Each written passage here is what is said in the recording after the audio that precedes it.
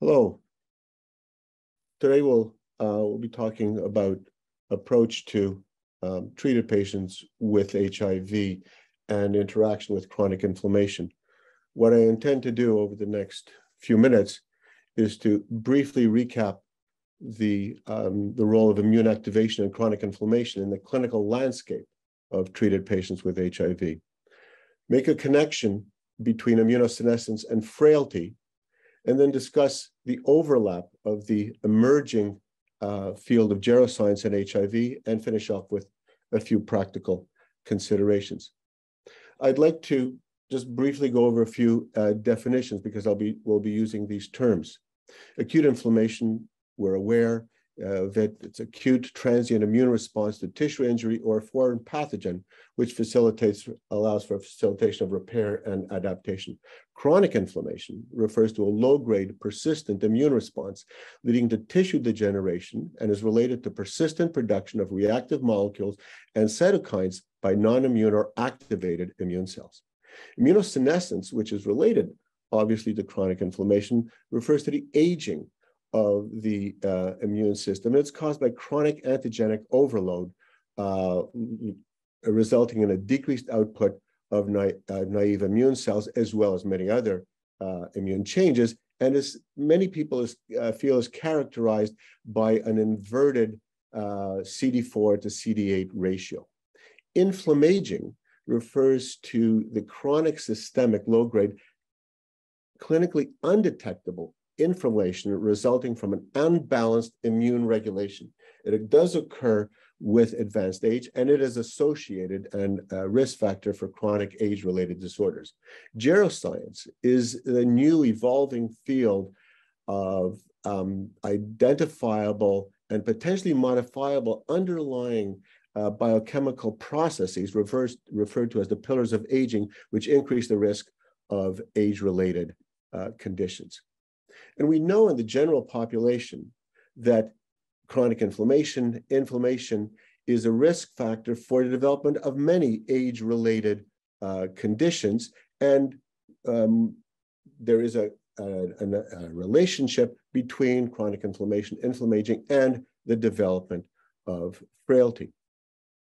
Now, we where this is where everybody's familiar with this, that the survival of effectively treated older persons with HIV approaches that, but it's not exactly the same uh, of the uh, to the general population, about 85%, though in some um, subgroups, the survival may be the same. We feel that the, the major reason for this um, uh, decreased survival is due to two things, the premature development of age-related comorbidities and increased risk of the early development of uh, traditional geriatric syndromes. And what are geriatric syndromes? They're conditions which don't fit into the discrete disease categories. They have multifactorial etiologies and involve multiple organ systems. The common ones that we think about are polypharmacy, falls, mobility, uh, cognitive impairment, and of course, frailty, which is one of the uh, more most common uh, geriatric uh, syndromes, among others. So frailty is a state of increased vulnerability to biologic environmental stressors, leading to increased risk of comorbidities, disabilities, cognitive decline, and overall mortality. And frailty, as I mentioned, is associated with a chronic inflammatory state. Now, in HIV individuals, uh, the potential causes which increase or uh, contribute to the uh, chronic active immune chronic immune activation and the uh, clinical consequences um, include a number of factors, microbial translocation, persistent uh, low-level replication of HIV, co-infections, commonly CMV, uh, HCV, uh, um, and as well as other processes which contribute to the active immune activation and thereby leading to chronic uh, inflammation as well as various other um, uh, identifiable um, impairments and end organ uh, da damage, and as we're understanding, increased risk of uh, geriatric syndromes as well. And what this figure is meant to represent is that we have here, following exposure to HIV, we have the huge um, increase in immune activation and, and uh, inflammation, which is um, very responsive to appropriate uh, combination antiviral uh, therapy. And then what happens over time, and we're familiar with this, is that as especially in, in older people, you do have an ongoing um, level of chronic inflammation resulting from uh, active um, uh, immune activation. But in older people, what we see is that there is the under increase as well in the underlying age-related chronic inflammation. And on top of that, or in addition, we feel that there's uh, inflammation associated with um, uh, uh, underlying HIV um, immune uh, activation. Now, how this, what this translates into clinically is the various uh, clinical manifestations, the aging phenotype uh, with all the comorbidities that we're aware of. And I'd like to uh, also uh, include in this with these comorbidities is the development of geriatric syndromes um, as well. But what's important to understand is that the problem in older persons with HIV is the delayed diagnosis of HIV. And this increases the likelihood of having lower CD4 cells at the time of presentation and lower CD4 uh, cells when starting effective antiretroviral therapy. This leads to uh, has a negative impact on immune recovery. And we see that in uh, this is uh, this data shows that there's differences uh, between age of presentation and um, and the CD4 count in people over the age of 50 and under the age of 50, and these differences um, um, can be uh, determined in, in, different parts of the world. But there is a an important immune um, component, an immune consequence to late uh, diagnosis of HIV. Uh, but the consequences uh, are that in most people, and especially in older people with HIV, despite a durable viral suppression, and even if the CD4, the plateau CD4 counts are high, they do not achieve a normal CD4 to CD8 ratio. Only a minority of individuals will have uh, will will have a normal CD4 CD8 ratio, which is usually greater uh, than than one. And uh, so this is associated with a ongoing uh, immunosenescence despite effective antiretroviral therapy.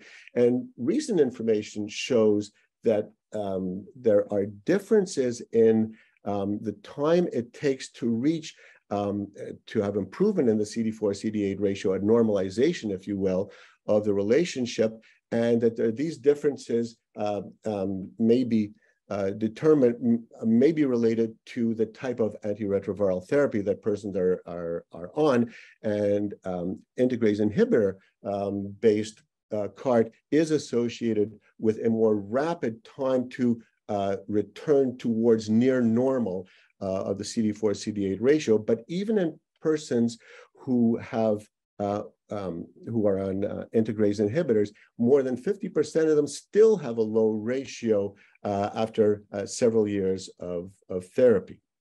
So we know that um, immunosenescence, as, as, demonstrated by the CD4 CD8 um, ratio, is related with uh, frailty, and um, a lower ratio is associated with an increased prevalence of, of, frailty as determined in this study by Giovanni Guaraldi using the frailty uh, index model. And as well, uh, older patients uh, with HIV also demonstrate age acceleration compared to non-frail uh, individuals on the uh, on the order of about 10 years. And this is done through, D uh, this study was done uh, using DNA methylation.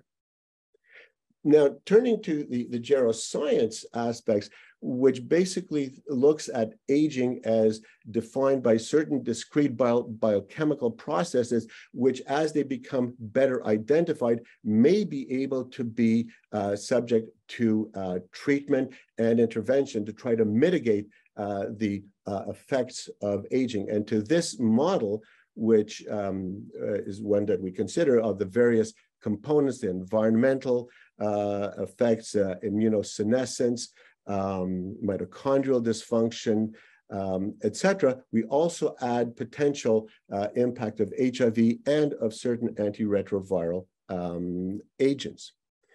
And a way of looking at, of thinking together of both um, HIV and geroscience uh, is that if we look at um, that increase in comorbidities occur during normal aging, um, but they occur more rapidly in patients with HIV. The idea is that if we think about some of the geroscience interventions, we may be able to mitigate and slow or slow down or even avoid the development of uh, some of these complications. Geroprotectors, which are drugs which are meant to specifically target some of these uh, increasingly understood um, um, contrib- uh, causes of aging are actively being studied in the general population. And there's, um, uh, for example, metformin, which uh, affects mitochondrial uh, dysfunction, and rapamycin, uh, which interacts with the with the mTOR. Uh, there are other specific agents which are being studied to see if we can limit the the impact of some of these um, effects. And in this slide, uh, I want to focus just on the use on the, uh, on the uh, preliminary results using the JAK inhibitor, uh, ruxolitinib. Um, and what the, the very first in-class trial in patients with HIV showed um, an early reduction in uh, activated uh, CD38 cells, as well as a reduction in CD14 and uh, TNF uh, alpha, which continued throughout the course uh, of the studies. This is a very preliminary study, uh, of course, but it does give us some hope um, uh, for possible um, interventions. And what we hope is in the near future uh, that some of these newer uh, interventions may actually benef be beneficial for the uh, treatment of frailty. And there are some preliminary results using mesenchymal cells, which showed an improvement in um, physical component of quality of life questionnaire, showed an improvement in uh, uh, gait speed, as well as a reduction in TNF alpha using um, mesenchymal cells in a, in a preliminary study. But we shouldn't also forget that both malnutrition and obesity may also uh, interact with and impact on chronic immune activation in HIV. And these are things which lifestyle changes may be uh, effective in uh, modulate. So to summarize, uh, I'd like to just finish with a practical approach to minimize chronic inflammation in older person with HIV. And I think it's important to remember to diagnose HIV early in persons over 50, obviously in everybody, but we should not forget about HIV in older populations and the recommendation to start uh, an integrase inhibitor-based CART as soon as possible to minimize ongoing uh, immune activation and to consider switch uh, to an integrase inhibitor in treated uh, persons. To identify high-risk older patients, we can follow the recent uh, EACS guidelines for frailty screening in persons above uh, 50, screen for geriatric syndromes, think about uh, uh, persons who have a low CD4 CD8 ratio, especially if their absolute CD4 count is less than uh, 500. I haven't talked about biomarkers because they're really not ready for prime uh, for prime time uh, to use for screening. So older patients should also be screened for CMV, depression, and other contributors which can impact on quality of life and functional uh, capacity.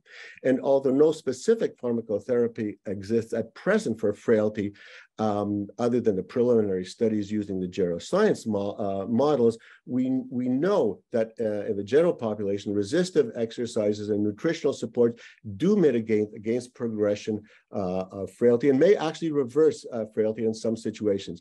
And of course, consider referral to an HIV and aging clinic or an aging specialist, which will also be discussed at the factor uh, at the during this meeting. But the bottom line is to stay tuned. This is going to be an exciting area in the next uh, several years. Thank you very much for your attention.